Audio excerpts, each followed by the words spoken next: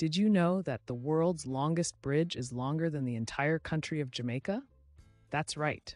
The Danyang Kunshan Grand Bridge in China stretches over an astonishing 102 miles. Imagine that. This incredible feat of engineering was completed in just four years and is primarily used for high speed trains.